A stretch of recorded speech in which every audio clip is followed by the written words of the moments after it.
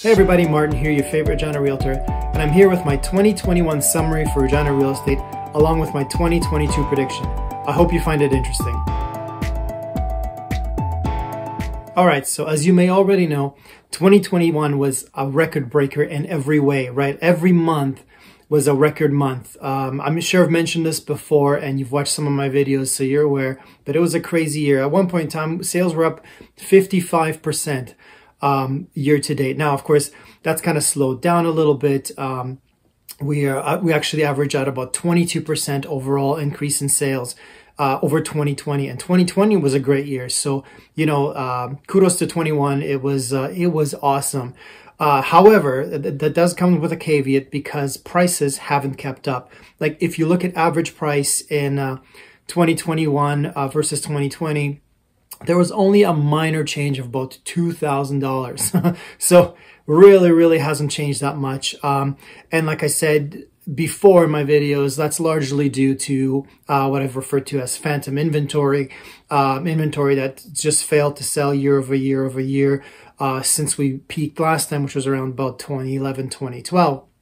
So um, when you look at that, there was a lot of listings that expired that um, a lot of us realtors were phoning clients and saying, hey, um, get your house on the market because the market's really, really good.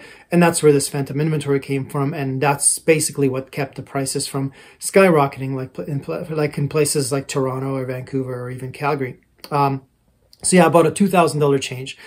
Um, and that's uh, if you want to look at the number of listings, uh, for instance, um, the number of listings, new listings in the year uh, rose to about 6,100 versus about 5,300 in 2021.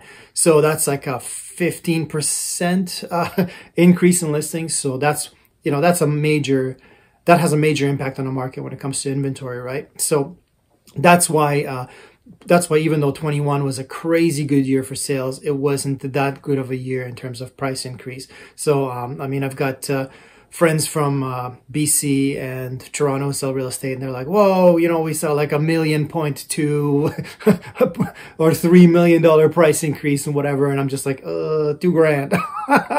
Welcome to Regina, my friends, and it's like minus 34 right now. So on top of all that, but anyway, not here to talk about the weather. Um, I want to jump into my 2022 prediction. So there's a couple of things. Uh, there's stuff on the internet you can find. I'm actually going to include uh, I'll link to a PDF in this video uh, of the RE/MAX uh, 2022 Outlook. Uh, Regina is in there. You can take a look and you can actually see all the other markets as well. Um, but anyway, my prediction. So um, I don't see much of a change. I, I know I always say this and I'm always wrong, but really like the increase in inventory was going to keep going, keep us uh, kind of level. It's going it's creating a, a ceiling of how high the prices can go. Sales could still be high. There's been a lot of um, young families moving to Regina um, because the trend is affordability due to affordability. Regina is is becoming more and more um, desirable for these young families because they can't go to Vancouver, they can't go to Victoria, Toronto, um, even Edmonton and Calgary uh, they can't buy what they can buy here for you know I've got I've got clients that are coming here that are pre-approved for half a million dollars and they can't believe what they can buy compared to um, you know the cardboard box that they can buy in downtown Vancouver right so it's a big big um, uh, draw for these for these young people so I, I,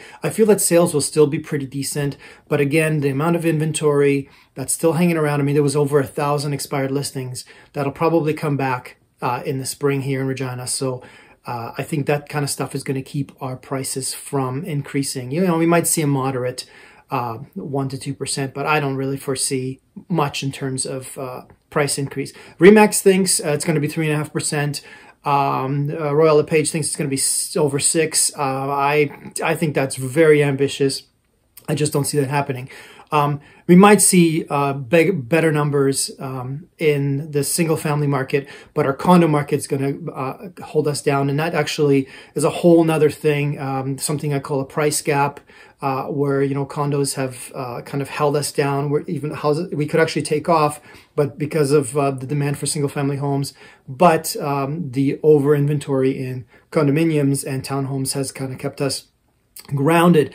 Uh, I'm going to do a video on the price gap as well, but uh, for now, uh, this is uh, this is basically just kind of my point. So um, anyway, my prediction for 2022 to sum it up is more inventory, more sales, but prices will be stable. I don't I don't see the three and a half to six percent increase. I really don't see it. I hope I'm wrong. I would love to do that because it'd be really good for me. Because uh, yeah, I got a few houses around, so it'd be really nice. But I um, I just I, am up I'm I'm optimistic, but I am um, I am realistic. So anyway, um, uh, I hope you uh, found this useful. Um, and uh, all my information is below. You can contact me if you have any questions. Martin at reginaexperts.ca or 306 527 0500. Just uh, shoot me a text if you have any questions. Or you can uh, click below and you can um, book an appointment with me if you have any questions. We can discuss buying, selling, real estate, or the weather. Okay, anyway, I hope you have a great day and um, I hope you enjoyed this video. Take care and stay warm. Cheers.